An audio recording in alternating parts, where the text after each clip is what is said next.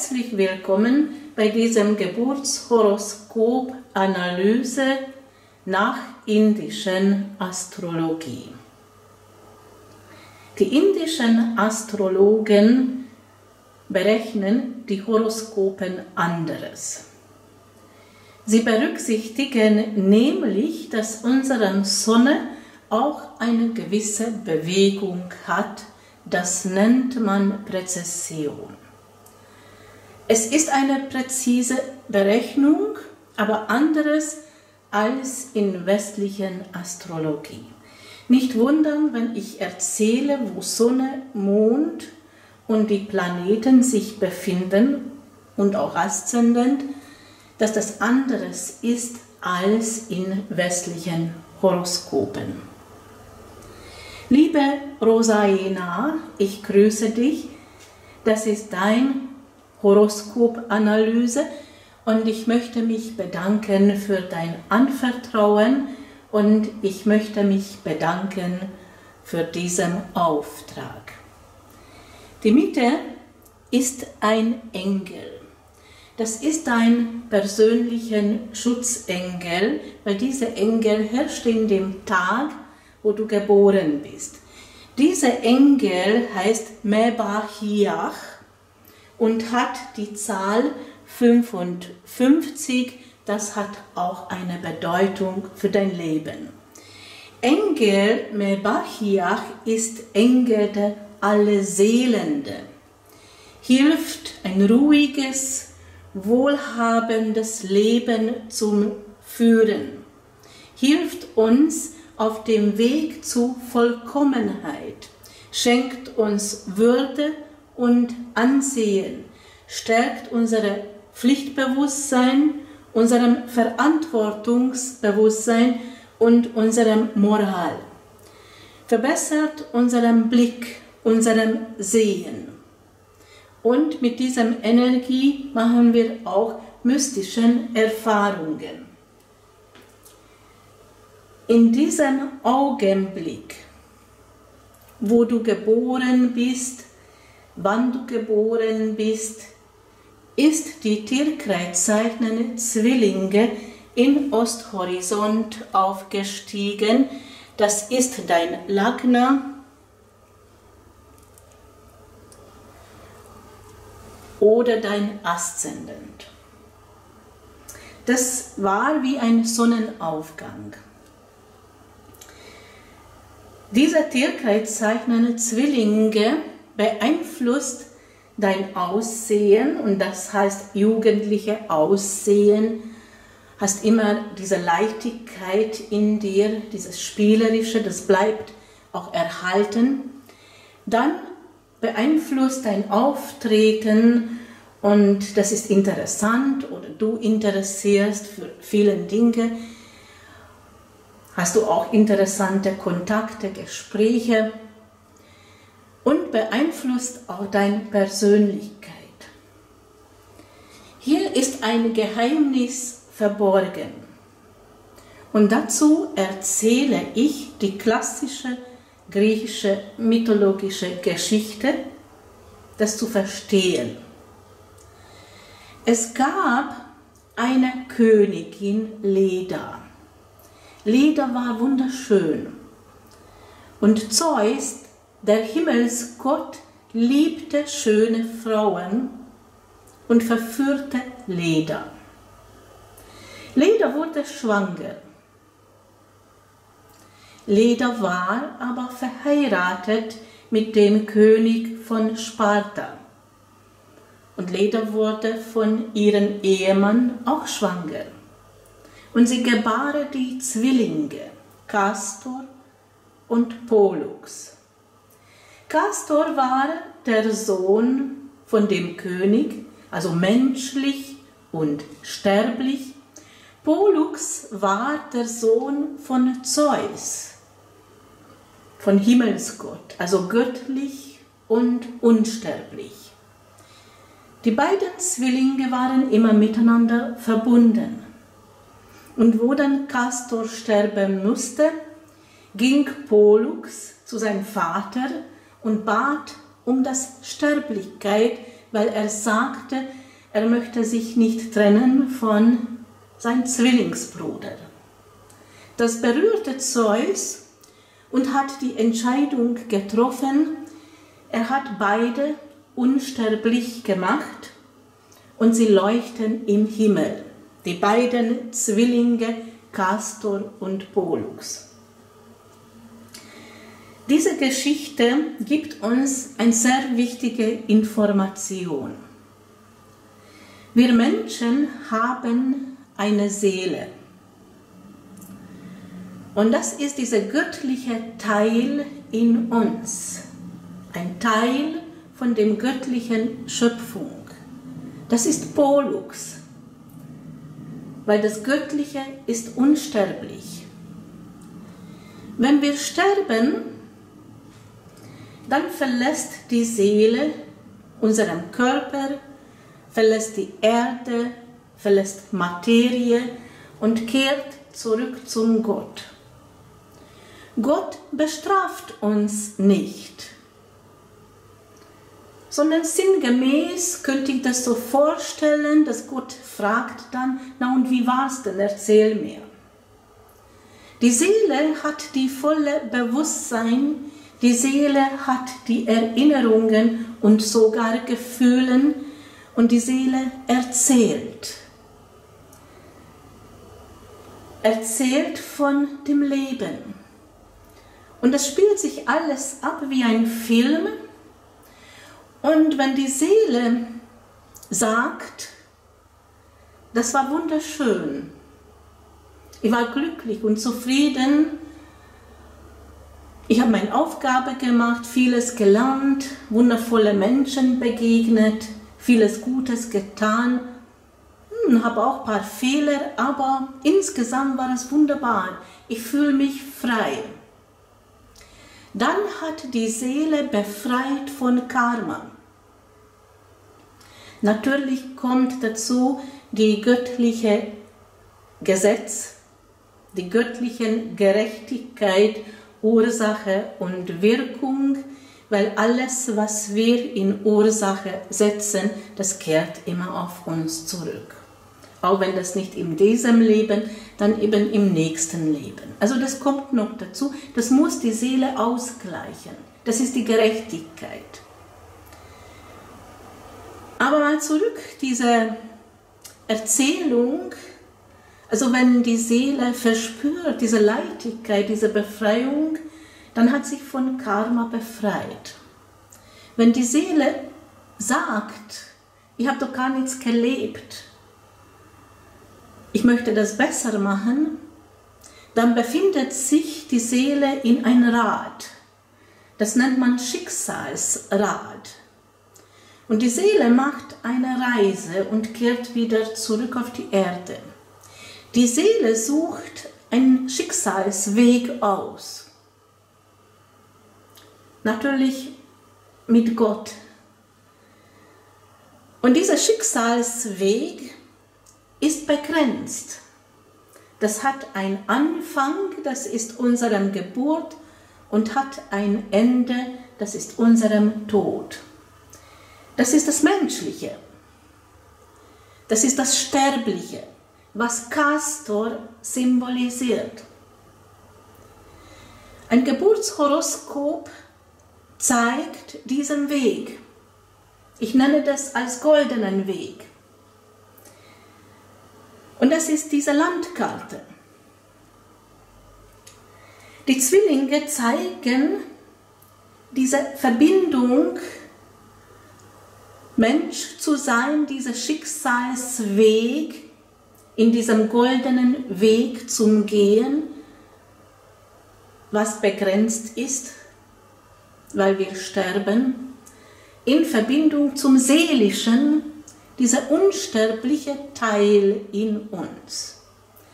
Wenn wir damit bewusst sind, dann haben wir ein höheres Bewusstsein. Und die Zwillinge symbolisieren die Leichtigkeit, das Kind zu sein. Dann können wir viel unbeschwerter im Leben gehen. Haben wir viel weniger Angst. Und das ist wichtig, angstfrei zum Leben. Und das erzählt die tierkreiszeichnende Zwillinge. Und du bist ein Kind davon. Du lebst diese Persönlichkeit, dann leb auch dieses Bewusstsein. Der zweite Lebensbereich hat mit Werten, mit Wertschätzung, mit Selbstwertgefühl was zu tun, aber auch mit Geld. Energetisch hängt das sogar zusammen. Wenn jemand sagt, ich bin es nicht wert oder ich habe es nicht verdient, dann hat viel weniger Geld. Wenn jemand Schuldgefühle hat, dann verliert auch das Geld, weil das hängt Schuldgefühl und Schulden energetisch auch zusammen. Stattdessen sollen wir sagen, ich bin es wert, das gehört zu mir, ich nehme das im Besitz. Oder noch besser, ich habe schon im Besitz. Hier in diesem Bereich ist die Tierkreiszeichen Krebs. Die Tierkreiszeichen Krebs gehört zum Wasserelement und bei Wasserelement haben wir immer mit Gefühlen was zu tun. Krebs symbolisiert die Geburt und auch die Schwangerschaft. Und gibt dir dieses Gefühl, wann ist der richtige Moment zum Handeln und wann ist besser abwarten. Und das kannst du verspüren, wenn das um Finanzen geht. Sollst du investieren, sollst du das kaufen oder lieber abwarten? Das sagt deine inneren Stimme. Außerdem, die Krebs gibt uns ein Zuhause. Natürlich äh, im Alltag hat er auch einen Einfluss auf unsere Wohnsituation oder Familienleben aber bedeutet auch das inneren Zuhause, einen inneren Tempel, weil unsere Seele braucht ein Zuhause. Und das haben wir in unserem Inneren. Und das sollen wir auch gestalten nach unserem Geschmack, nach unserer Fantasie. Wichtig ist das Wohlbefinden. Mal zurückziehen, zur Ruhe kommen, meditieren, das Vorstellen, wo wir uns wohlfühlen, das kann ein Blumenwiese sein oder ein gemütliches Wohnzimmer, jeder nach ihrem Geschmack. Was das Gefühl sagt, hier ist wichtig das Gefühl. Und wenn du das praktizierst und hast diesen inneren Tempel, dann stärkt dein Selbstwertgefühl und verbessert sich die Finanzen, wenn du vorstellen kannst, Reichtum, wohlhabend, wohlhabend zu sein. Der dritte Lebensbereich hat mit Schule was zu tun, symbolisiert die Kindheit, Jugend, die Alter, wo wir mit Geschwistern oder mit anderen Kindern in die Schule zum Kontakt kommen, zeigt, wie wir da durchsetzen, uns behaupten. Und hier hast du die Löwe, das heißt, du bist da immer im Mittelpunkt gestanden, du warst immer wahrgenommen. Das ist schon dein Glanz und das stärkt dich natürlich innerlich. In späteren Jahren zeigt dieser Lebensbereich, wie kannst du dich behaupten bei Konkurrenzen. Und das zeigt diese Löwe-Energie sehr gut, weil du hast immer diese Kraft. Jetzt sind wir im tiefsten Punkt des Horoskopes, wenn ich die runde Format betrachte und das vergleiche ich mit einem Baum. Das ganze Horoskop wie ein Baum. Und hier im tiefsten Punkt des Baumes ist die Wurzel. Unserem Ahnen, unseren Traditionen, unserem Herkunft unserem Zuhause, wo wir uns verwurzelt, verankert fühlen. Und wir brauchen diese Basis, wir brauchen dieses Fundament, weil das gibt Halt in unserem Leben.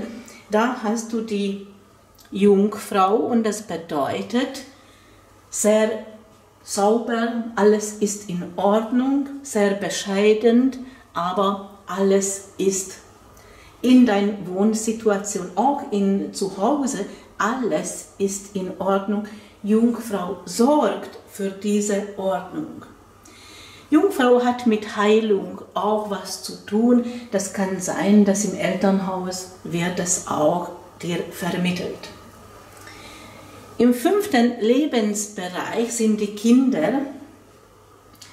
Und das bedeutet deine eigenen Kinder, später dann auch deine Enkelkinder, zeigt auch die Kindheit und auch das innere Kind. Und von Kindern sollten wir lernen. Lernen, wie sie spielen.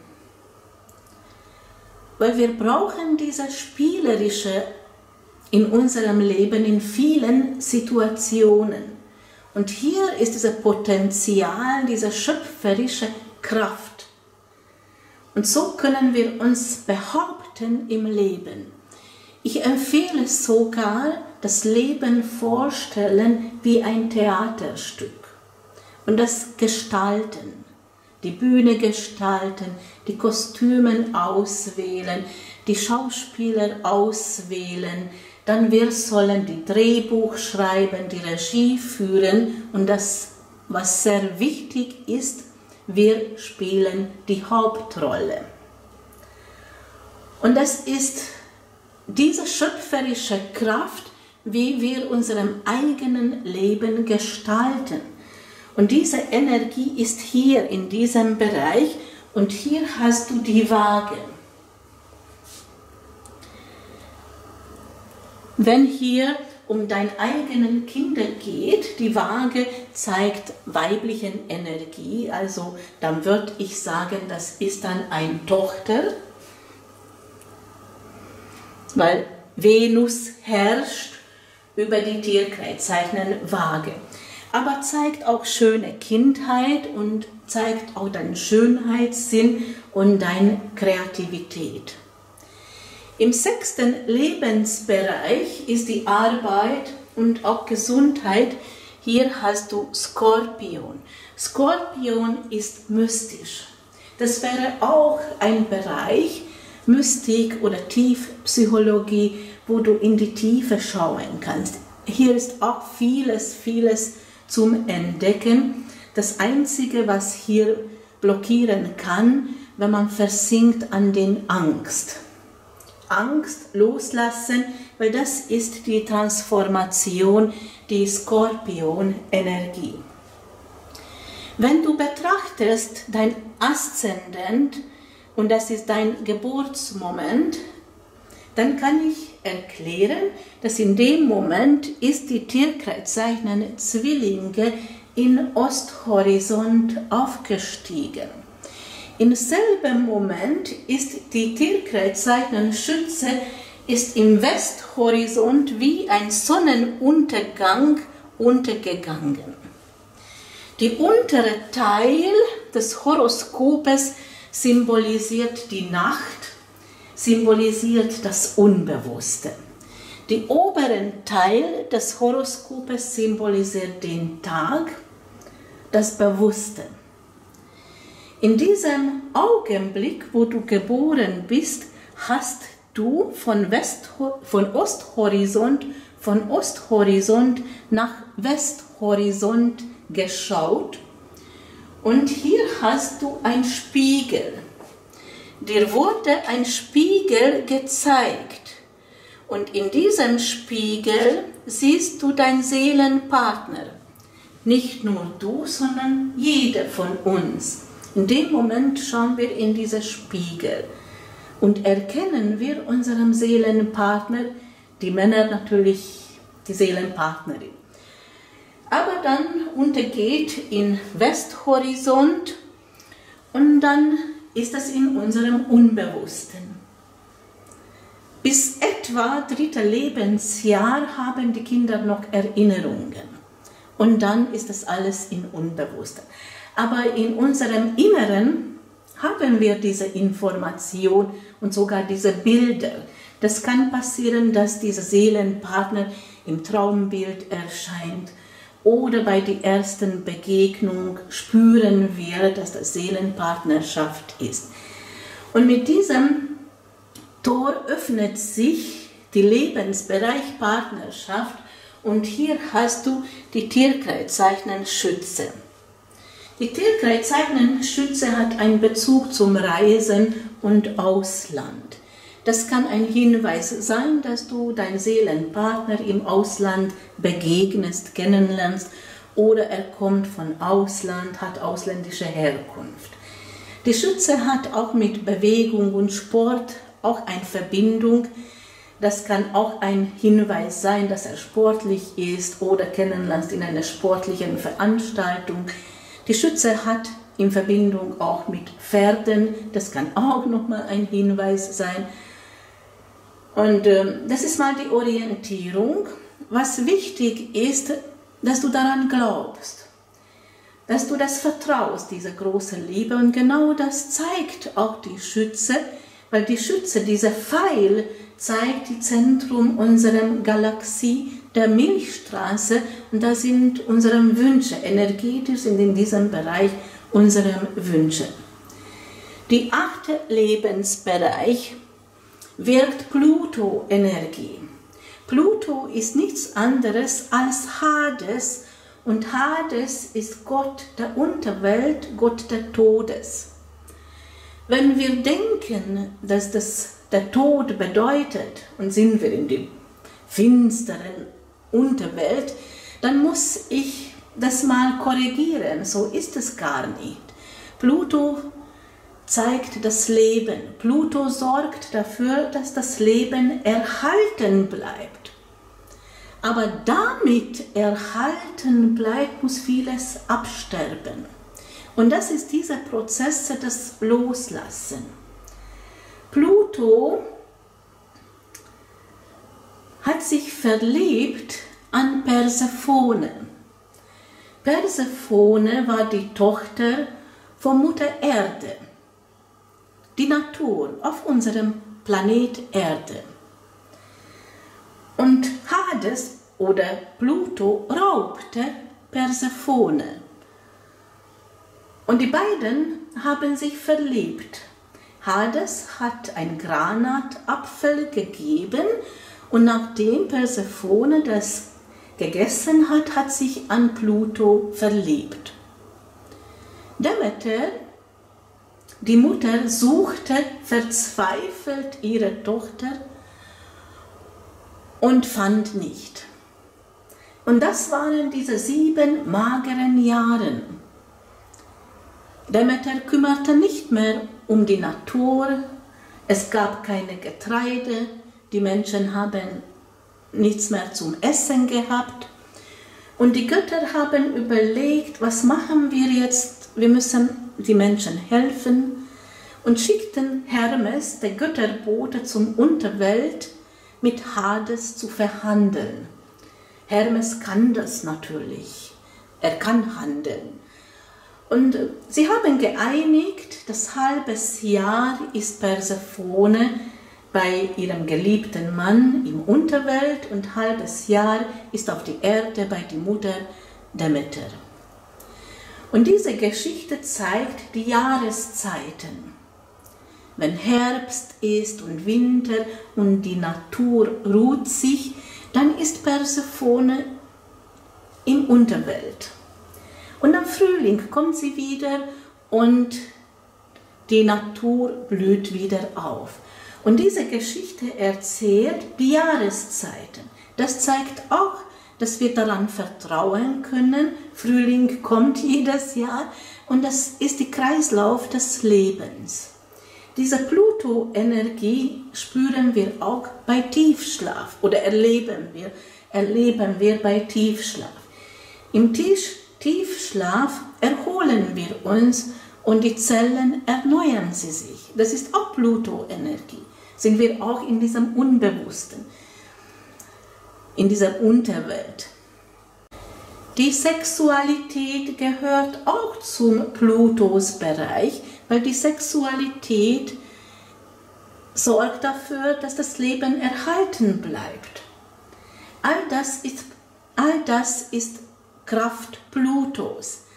Aber damit das alles funktioniert, muss einiges aufgeben loslassen, von etwas trennen, kündigen, all das, was diese Energie, diese Kraft raubt. Und das sind diese Prozesse, was hier in diesem Lebensbereich erleben.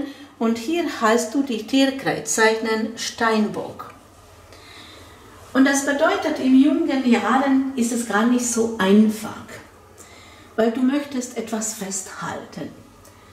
Aber im zweiten Lebenshälfte lernst du das, bis dahin lernst du das und das erkennst du dann auch, diese Notwendigkeit, damit Ordnung, Sicherheit, Stabilität und Struktur hast im Leben. Im neunten Lebensbereich sind die Reisen und das bedeutet Ausland, Auslandskontakte, Fremdsprachen, bedeutet auch Studium, eine höhere Bildung und einen spirituellen Weg. Hier hast du die Tierkreiszeichen Wassermann.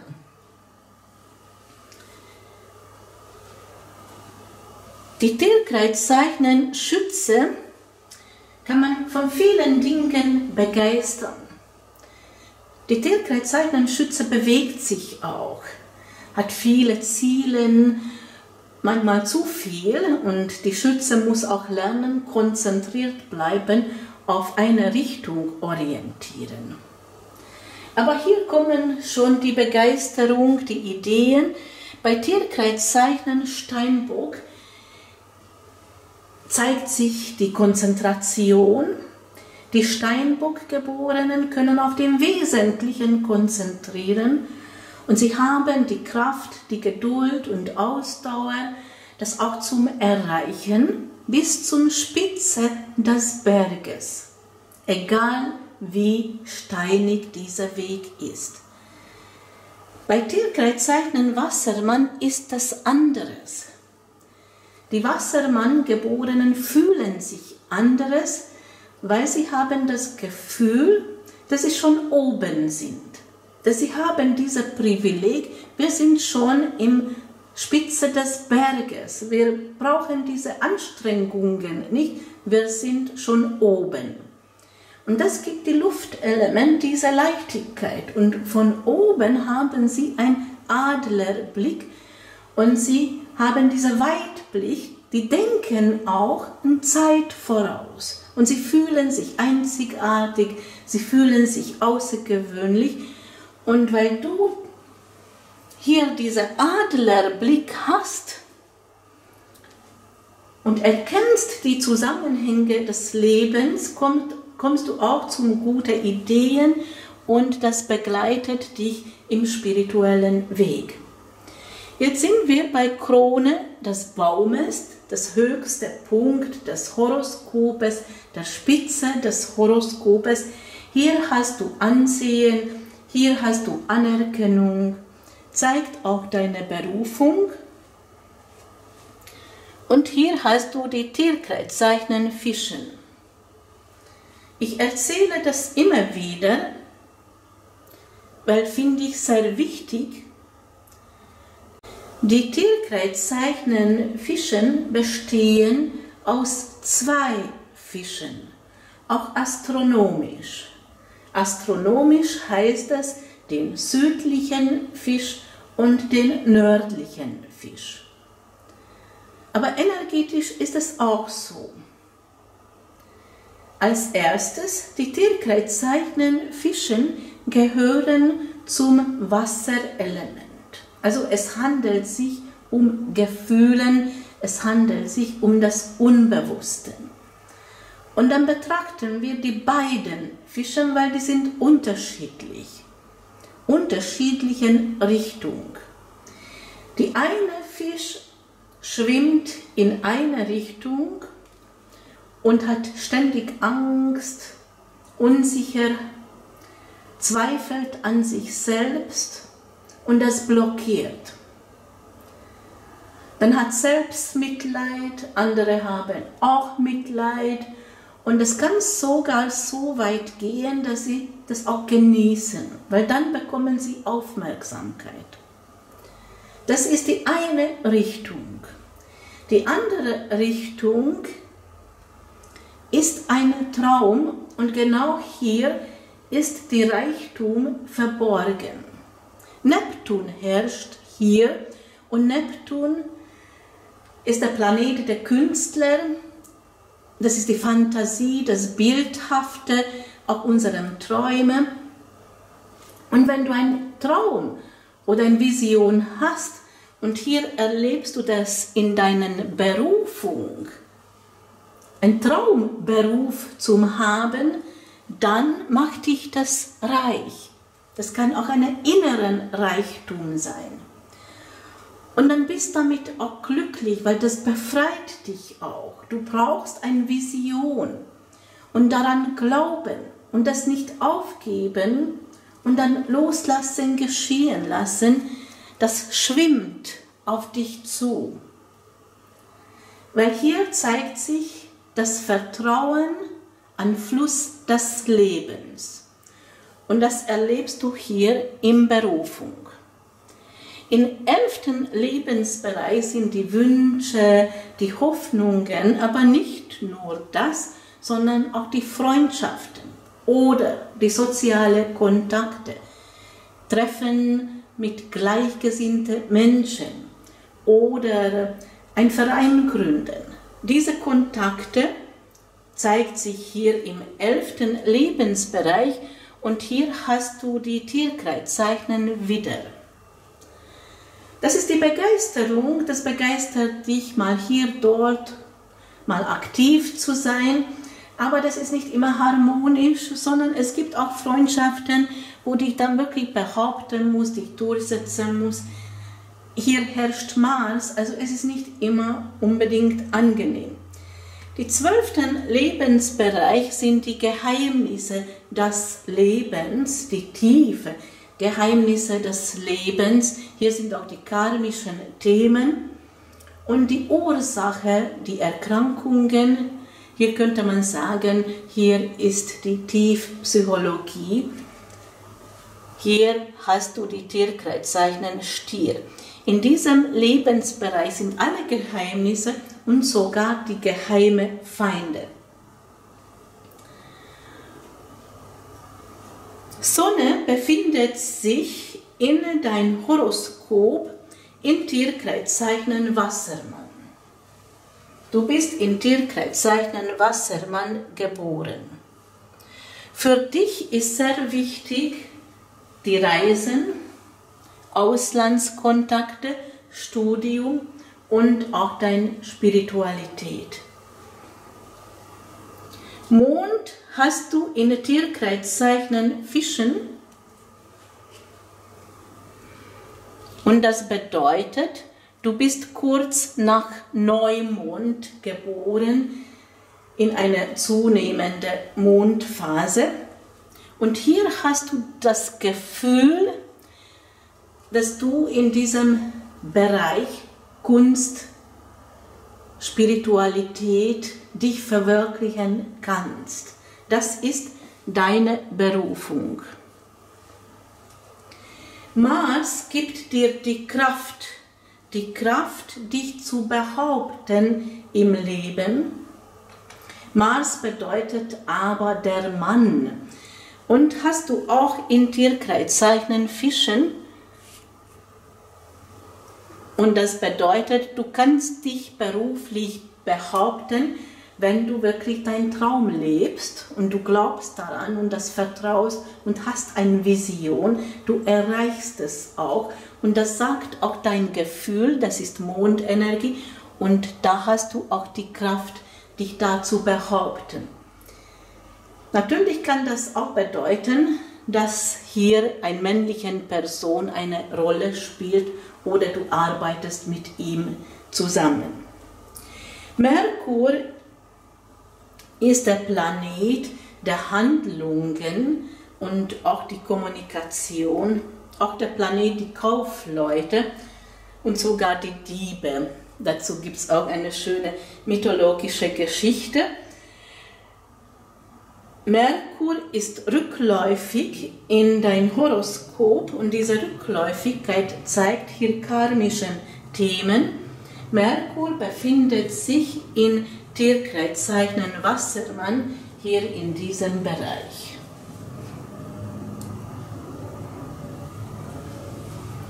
Und das kann natürlich bedeuten, dass du gut handeln kannst im Ausland, dass du Kontakte, viele Kontakte im Ausland hast oder Studium Fremdsprachen bedeutet natürlich auch. Jupiter zeigt deine Größe, das ist diese Weisheit, deinen inneren Sonne.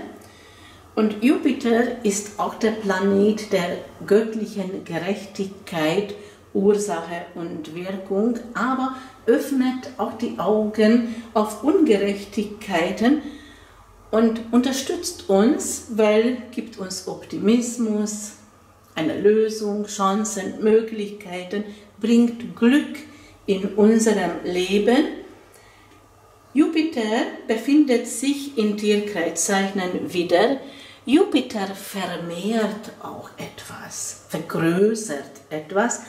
Und das würde bedeuten, dass du sehr beliebt bist und hast du ein großes Freundeskreis und mit dieser Wiederenergie natürlich das begeistert dich, das ist ähm, etwas Neues, neue Kontakte, das ist schon die Begeisterung. Venus hast im Tierkreiszeichen Steinbock.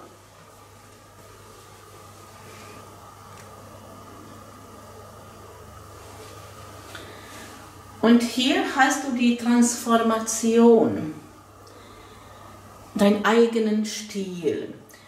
Oder was eigenes, wo, man sagen kann, du bist als Frau anderes wie alle anderen. Und hier transformierst deinen weiblichen Energie. Aber Venus hat auch mit Liebe etwas zu tun und die Steinbock bedeutet Ernsthaftigkeit, dass du das sehr ernst nimmst, nimmst die liebe Partnerschaft.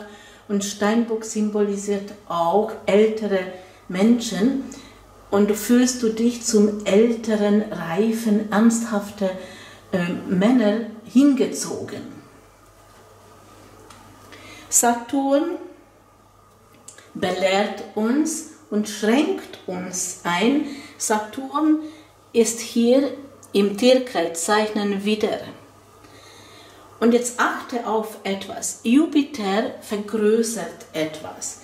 Die Tierkreiszeichen wieder ist das Schnelle, diese Begeisterung, manchmal sogar unüberlegt. Und das zeigt deine Natur, dass dich begeistert, immer wieder neue Menschen kennenlernen und das vergrößert äh, dein Freundeskreis, du freust dich auch und Jupiter gibt diese Chancen und äh, vergrößert das alles und Saturn belehrt dich, bremst das bisschen. Weil hier wirst du Enttäuschungen erleben, wenn du das nicht überprüfst, mit wem du dich einlässt. Jetzt meine ich jetzt nicht, äh, dass das um enge Freundschaften handelt, da bist du sicherlich klug und das kannst du unterscheiden, sondern wenn du jede vertraust und dann freust du dich, dass du so viele Kontakte hast. Saturn sagt Vorsicht, bremst das bisschen, überprüfe das. Hier hast du die Lernaufgabe. Hier hast du die Lernaufgabe. Entweder nützen sie dich aus oder führt das dazu, dass du dann enttäuscht bist. Uranus bringt Umbrüche und Veränderungen. Uranus befindet sich in Tierkreiszeichen Steinbock, Neptun auch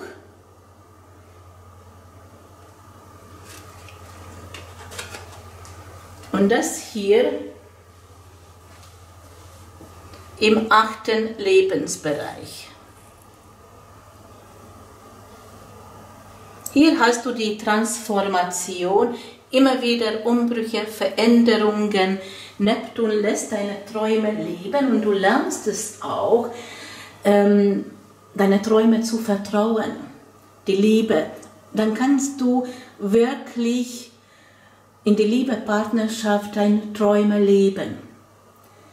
Es wurde dir gegeben, dass du deinen Traum lebst, wo du vorsichtig sein sollst, das ist die Freundeskreis, Bekanntenkreis. Pluto ist in Tierkreiszeichen Skorpion.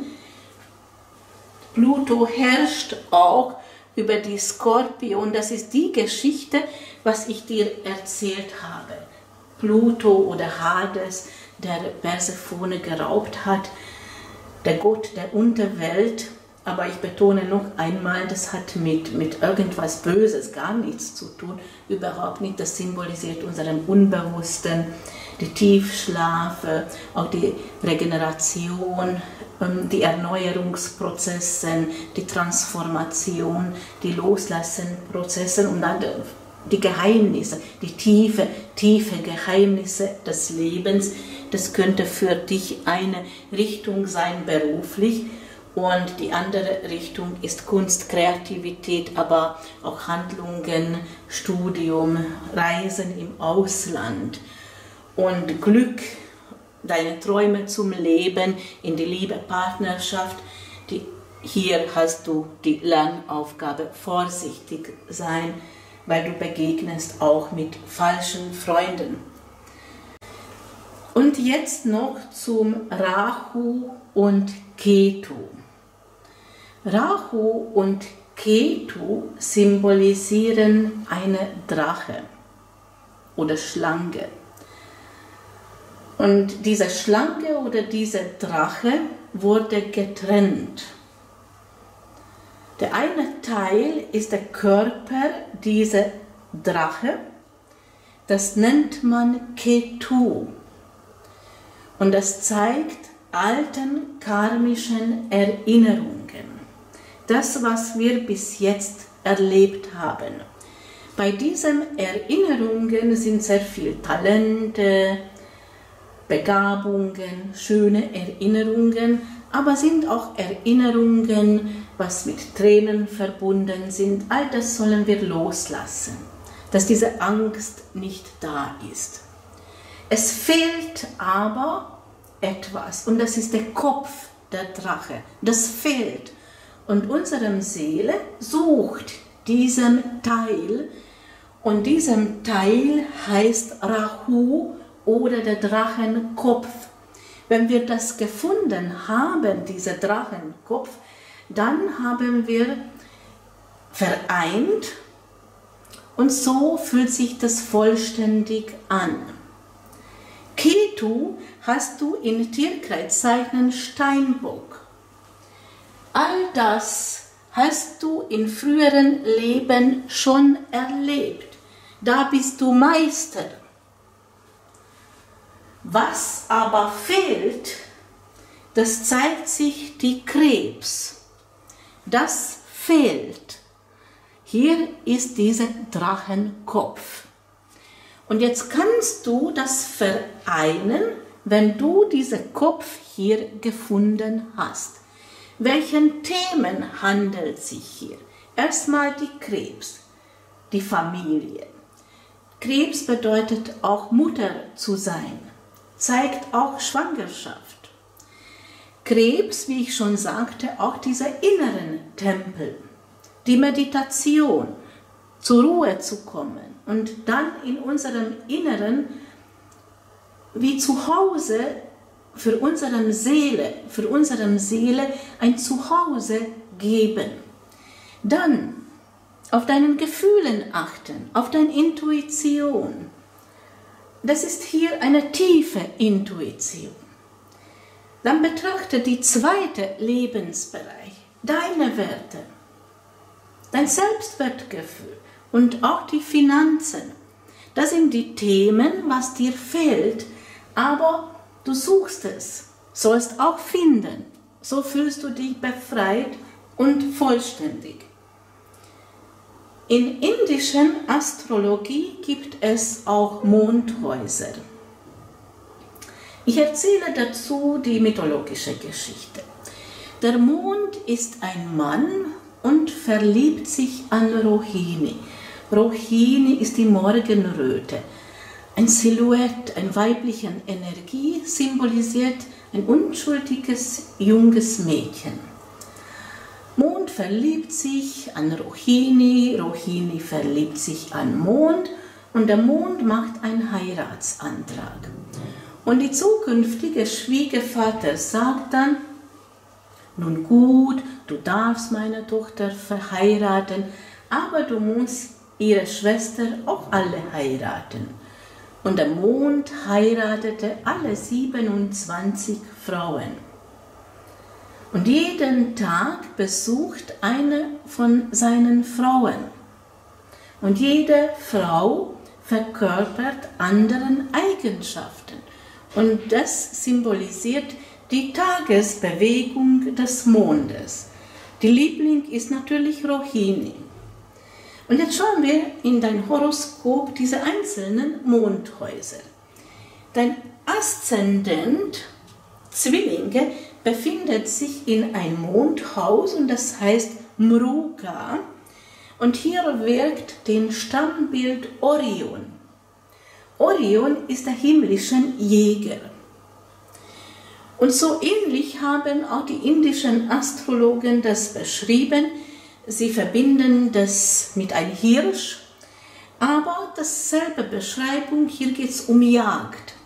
Jagen nach etwas suchen nach etwas, etwas erreichen wollen. Das ist dieser Trieb, du bist die Suche nach etwas. Manchmal weißt du gar nicht, was das genau ist, aber du bist auf dieser Suche.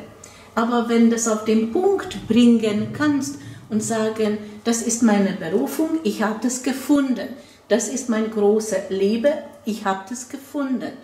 Mir ist es wert, also nehme ich in Besitz.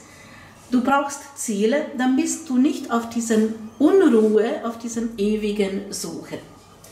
Sonne befindet sich in Tierkreiszeichen Wassermann und dieser Mondhaus heißt Purvabhadra und wird von Pegasus bestrahlt.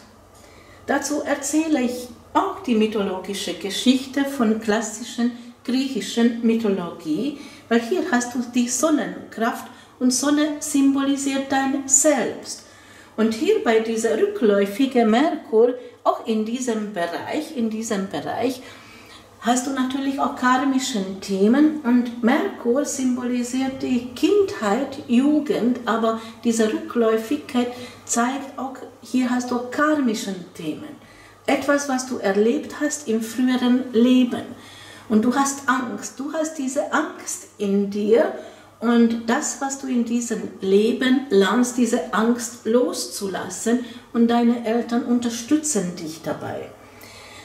Aber ich erzähle die Geschichte dazu. Es gab eine Königin Cassiopeia und Cassiopeia prahlte überall, dass ihre Tochter Andromeda sei die schönste. Sie ist sogar schöner als die Meeresjungfrauen. Und die Meeresjungfrauen haben sich beschwert bei Poseidon, bei Gott des Meeres, das ist Neptun. Und Neptun wurde zornig und schickte den Walfisch im Königreich, diese prahlende Königin, zum Bestrafen.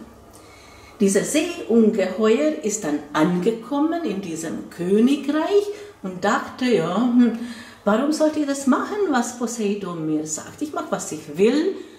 Und er nahm die schöne Königstochter Andromeda und fesselte in einen Felsen. Und Andromeda hat Angst gehabt. Die Nähe war Medusa. Medusa, die furchterregenden mit ihren Schlangenhaaren. Bis dann Perseus kam und befreite Andromeda. Befreite von diesem Fessel, befreite von diesem Angst und die beiden haben sich verliebt, Andromeda und Perseus. Und Pegasus war diesem geflügelten Pferd, weißen Pferd mit Flügel, wo die beiden dann davongeritten sind. Das ist die Befreiung. Was erzählt diese Geschichte? Befreit zu sein von Ängsten. Und hier in diesem Bereich spielen diese Sternbilder eine Rolle. Perseus, Andromeda, Pegasus. Und hier bei diesem rückläufigen Merkur, weil Merkur befindet auch in diesem Bereich, bei dieser Rückläufigkeit zeigt, hier hast du karmischen Themen. Etwas fesselt dich in deinen Ängsten oder hast du Verlustangst. Das kann natürlich auch auslösen, dass du äh, im Elternhaus sehr stark verbunden bist und fehlt schwer das Loslassen, abgenabelt zu sein. Und ähm, hier brauchst du die Befreiung. Denk immer an dein Zwilling-Aszendent. Das gibt dir diese spielerische, diese Leichtigkeit. Mond befindet sich im Fischen, im Tierkreiszeichen Fischen, im Mondhaus Revati. Revati. Revati ist die letzte Mondhaus und bedeutet etwas zum Ende bringen, zu einem krönenden Abschluss bringen. Und das zeigt auch dein Mond, dein Gefühl. Mond kann aber Schwangerschaft auch auslösen. Und Krebs hat auch mit Schwangerschaft was zu tun. Und das kann natürlich bedeuten, dass du davon Angst hast, weißt du, weil du im früheren Leben etwas erlebt hast, was bei dir diese Angst auslöst. Also diese Angst loslassen, das hat mit der Gegenwart nichts zu tun, sondern entdecke die Krebsenergie und das ist die Mütterlichkeit, Schwangerschaft, das auch bedeuten. Und Mond herrscht über die Krebs, hat auch mit, mit Schwangerschaft auch was zu tun. Und hier Mond in diesem Mondhaus Revati bedeutet das zum krönenden Abschluss bringen. Das ist für dich wichtig. Merkur, dieser rückläufige Merkur im Wassermann, in die Nähe von Sonne, aber in anderen Mondhaus. Und dieser Mondhaus heißt Shatabisha. In diesem Bereich, wo dieser rückläufige Merkur bewegt, sind ganz, ganz viele Glückssterne. Aber dieser Mondhaus heißt übersetzt von Sanskrit 100 Ängste oder 100 Glück. Und das bedeutet, wenn du Angst hast, was hier diese karmischen Erinnerungen hast, dann hindert das Glück zu haben oder glücklich zu sein. Also sehr wichtiges Thema, diese Angst loslassen. Und wenn du diese höheren Bewusstsein hast, dann hilft es dir, weil dann verstehst du oder fühlst du dich wohl und brauchst keine Angst zu haben. Jupiter befindet sich im Widder. Jupiter zeigt deinen inneren Größe, deinen inneren Sonne und das bedeutet hier in diesem Mondhaus Ashwini Heilung. Ashwini vermitteln die Heilenergie, Heilprozess. Also du brauchst Heilung in deinem Inneren, hat aber wirklich mit Vergangenheit, äh, mit karmischen Themen etwas zu tun. Venus befindet sich im Steinbock. Dieser Mondhaus heißt Danishta und heißt Grenzgebiet. Dieses Grenzgebiet ist im Grenzen zwischen Steinbock und Wassermann und bedeutet dieselbe Energie, aber die Richtung ist anderes. Die Steinbock versucht, die Ideen verwirklichen im Tat und das Durchsetzen, also die Realität leben und äh, die Wassermann schaut immer wieder zu neuen Ideen. Die Ideenreichtum, die Wassermann und die Taten dieser Zielsetzung und Geduld, die Steinbock vereinen sie sich hier bei diesem Mondhaus.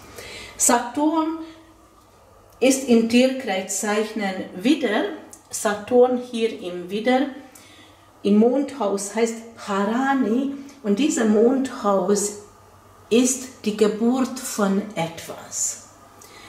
Und Geburt von etwas oder Schwangerschaft spielt bei dir eine sehr große Rolle. Und davon hast du Angst. Entspricht deiner Wünsche, entspricht deiner Sehnsüchte, aber du hast Angst davon. Und hier bei diesem Saturn-Energie ist auch deine Lernaufgabe, diese Angst loslassen, sondern einfach das geschehen lassen. Rahu und Ketu.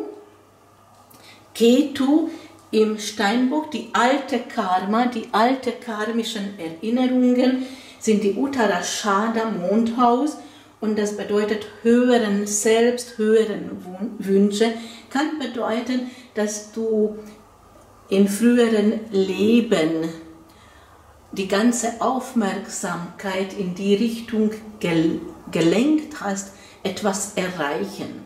Zum Beispiel Ansehen, Anerkennung oder die Berufung zum Leben, hast du diese hohe Ziele, hohe Ideale gehabt. Aber Mutter zu sein, das, was du abgelehnt hast. Und jetzt hier Mutter zu sein im Krebs ist dieser Drachenkopf und das ist die Richtung, was deine Seele auch sucht.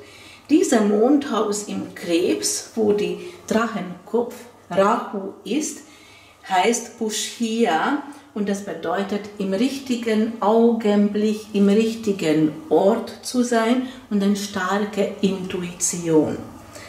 Uranus befindet sich im Steinbock, im selben Mondhaus wie dein Venus, dieses Grenzgebiet zwischen Wassermann und Steinbock. Neptun befindet sich im Steinbock. Shravana heißt dieses Mondhaus und bedeutet übersetzt hören, zuhören und damit die inneren Stimme gemeint ist. Hör auf deine Intuition, hör auf deinen inneren Stimme. Diese Shravana steht in Verbindung mit Adler. Du brauchst diesen Weitblick, diesen Adlerblick. Oder hast du schon? Pluto befindet sich im Mondhaus Ieshta.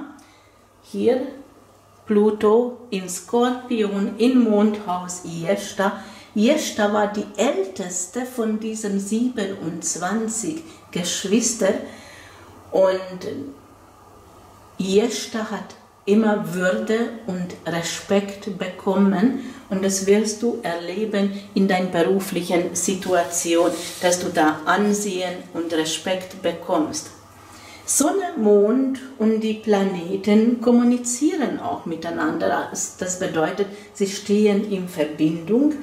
Sonne, Mars steht eine sehr schöne Verbindung das ist die männliche Energie. Sonne symbolisiert dein Vater, Mars deine Kraft, wie du dich durchsetzt im Leben, aber auch der Mann, die stehen in einer harmonischen Verbindung. Sonne steht zum Uranus auch eine harmonische Verbindung. Und das sind die Umbrüche, Veränderungen im Leben. Und du hast immer diese Lebenskraft, Lebensenergie, dich darauf einlassen. Du hast keine Angst dein Leben zu verändern. Mars und Uranus steht auch eine schöne Verbindung. Du hast auch den Mut, immer wenn es um Veränderungen geht und ohne Angst. Dieser rückläufige Merkur steht mit Neptun in einer schönen Verbindung und das bedeutet, deine Träume zu leben, kannst du dann, wenn du mal Kind bist nicht kindisch, sondern wenn du diese kindliche, was auch die Zwillinge hier dir vermitteln, wenn du diese kindliche in dir verspürst, dann lebst dein Traum. Dieser rückläufige Merkur steht mit Jupiter in Verbindung, eine schöne Verbindung. Du hast Glück im Leben und ähm, du brauchst aber diese Merkur-Energie und das ist diese jugendliche, diese spielerische und das bringt dir auch Glück. Dann hast du zwischen Saturn und Pluto eine Verbindung und diese Verbindung nennt man Quinkungs. Und ich beschreibe, was das überhaupt bedeutet. Saturn versucht etwas bewahren, aufrecht erhalten. Pluto möchte aber einiges loslassen, weil Pluto weiß, dass hier raubt Zeit, Energie, das ist überflüssig. Pluto konzentriert auf dem Wesentlichen. Und Saturn neigt dazu, vieles bewahren, behüten. Besonderes das, was Altes ist. Zwischen den beiden Planeten entsteht ein Quinkungsaspekt, nennt man das. Und das kannst du folgendermaßen vorstellen. Stell dir vor, vor dir ist ein Pendel. Und dieser Pendel ist unbeweglich. Und jemand fragt dich, in welche Richtung wird dieser Pendel ausschlagen? Was würdest du dann sagen? Du wirst es dann sagen, ich weiß es nicht. Vielleicht links, vielleicht nach rechts, vielleicht bleibt sogar stehen, ich weiß es nicht. Und genau das spürst du in dein Inneren, wenn das um Loslassen geht. Diese inneren Unsicherheit, was soll ich jetzt tun? Hm, soll ich davon verabschieden? Soll ich hier trennen? Soll ich das bewahren? Ich weiß es nicht, was richtig ist und was nicht. Und diese Thematik wirst du in Freundeskreis erleben, Freundeskreis, Bekanntenkreis wo dann innerlich unsicher bist, soll ich diesen Kontakt jetzt beenden oder soll ich das weiter pflegen? Pluto zeigt, konzentriere auf die Wesentliche. Wenn das für dich gut ist, dann bewahre das. Wenn dich das stört, dann trenne davon.